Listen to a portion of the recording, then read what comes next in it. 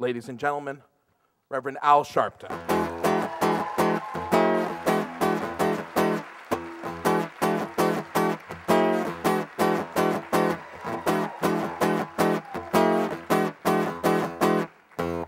Actually, I was born and raised in Brooklyn and started started uh, preaching very young. I, uh, my mother took me to a Pentecostal church called Washington Temple Church of God in Christ. And when I was three years old, I was baptized, having no idea what it meant, but knowing that my mother said that's what we do. And for some reason, I became enamored with the bishop. And I would come home every Sunday and line up my sister's dolls and put on my mother's bathrobe and preach to my sister's dolls whatever the bishop had preached. Many years later now, I realized they were my best audience. and I eventually convinced the bishop to let me preach in church and I grew up in my young boy years a boy preacher to the point that uh, when I was nine, I preached at the World's Fair here near LaGuardia Airport. You can see the grounds. I met a singer that night, and the singer told me, The day will come, young man, that you will be able to really know what you believe, not just what you preach. You're preaching now out of talent where you will one day really find conviction. And I had no idea at nine years old what she was talking about. But as time went on and I got into my teen years, I decided that I did not want to be a pastor of a congregation or a church. I wanted to be committed to social justice. And every was the end of the 60s, and everyone in my school, Tilden High School, at that time in Brooklyn was either in the anti war movement or Panther or some kind of activist. And because I was a minister, I was enamored with, uh, at that point, Martin Luther King Jr., who had just been killed. And I wanted to do social justice. So I grew up in the aftermath of the King movement, always remembering the admonition of this gospel singer. So I felt I had my conviction. I knew what my calling was. And years went by, and I became known for social justice work. We're in January now, 1991. I'm in my mid 30s. A young man had been killed in the Bensonhurst section of Brooklyn in a racial murder. His name, Yusuf Hawkins. Killed because at that time, some felt that if you had a certain skin color, you shouldn't be in their neighborhood.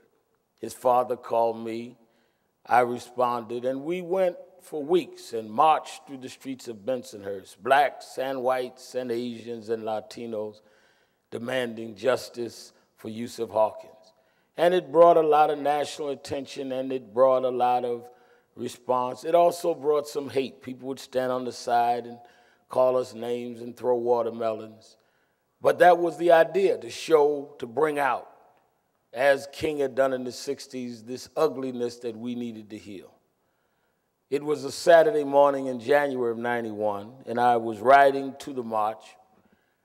And as we pulled up to get out of the car, police around us, about 500 protesters lining up, police barricading those that were going to taunt us.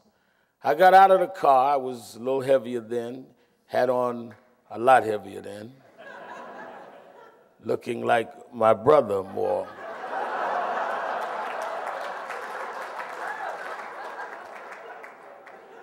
the genes are in our family, we can't help it.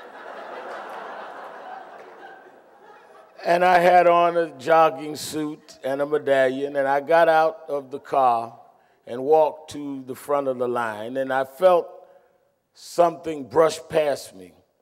And I felt like I looked out of the corner of my eye and saw a man whose face was contorted with hate. And I said, He punched me. And I looked down, and before I realized it, there was a knife sticking out of my chest. Instinctively, I grabbed the knife, and when I grabbed the knife, the cold air hit the womb, and I went down to my knees, and people started screaming. And with all of that police presence, there was no ambulance. They put me in the front seat of a car. They told one of the policemen, drive him to the hospital. We'll put a police car in front of you and one behind you. We don't have time to wait on the ambulance. So we got in the car.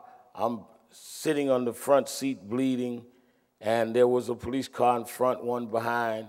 And the police officer said, Are you all right? I said, I think I am. He says, Well, hold on because I'm really not good at driving. So I said,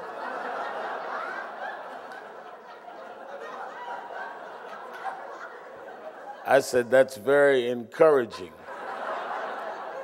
so as we held on to Coney Island Hospital, I went, rushed into surgery, and I spent the night saying, Now I know what conviction is, how I know what it really means to answer call.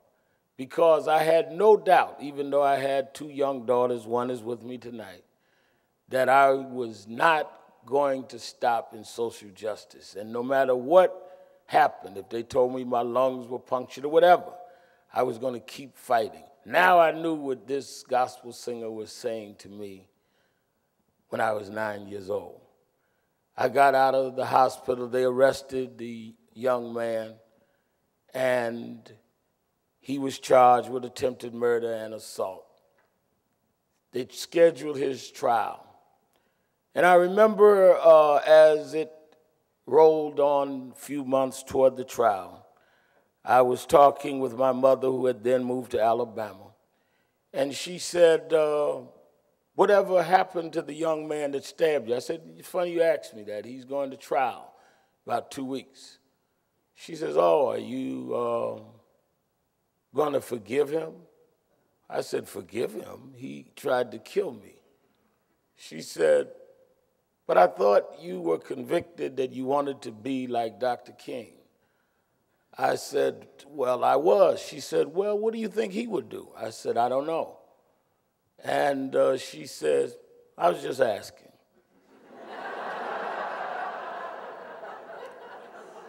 so I began researching, and I found out in 58, 59, Dr. King had been stabbed by a black woman in Harlem who was deranged, and he forgave her.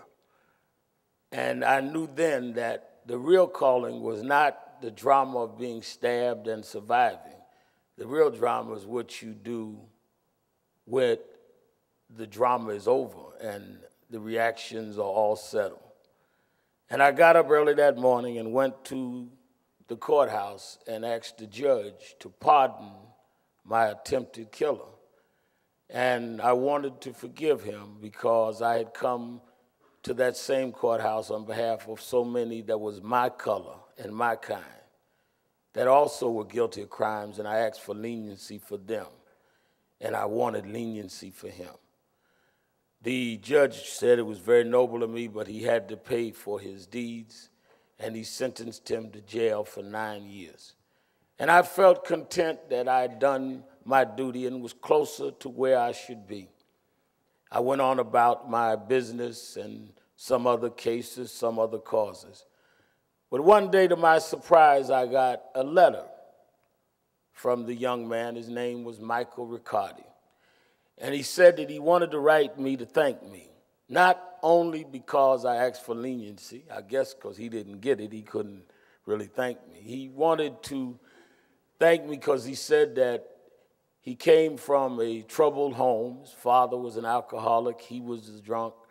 He says, but I'm not making excuses. He says, but it occurred to me sitting here in jail that no one ever stood up and spoke for me in my life until you walked in court and spoke for me. And I wanted to thank you for being the first person to speak for me in life and to encourage you to always speak up for people that no one would speak up for. I read the letter, put it away, took it out a couple of days later, read it again, and I wrote back to him, and we began exchanging several letters.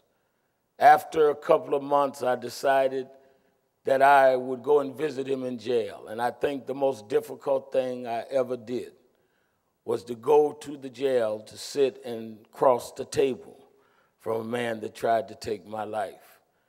And even with all of the bombast and all of the flamboyance that me and my brother are known for,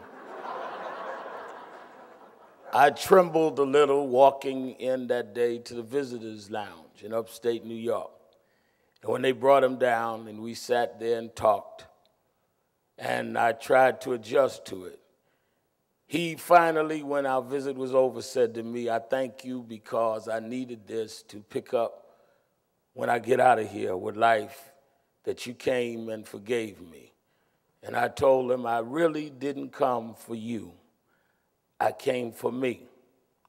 I had to find whether I was convicted or just talented. And you never will know until you're faced with something that you don't control and that is not scripted.